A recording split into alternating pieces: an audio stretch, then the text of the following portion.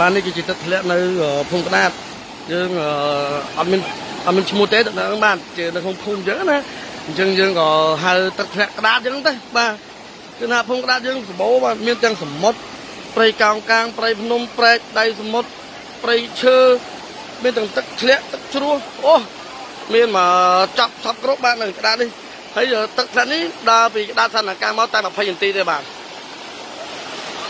គឺថាវាតូចល្មម លេងបាទ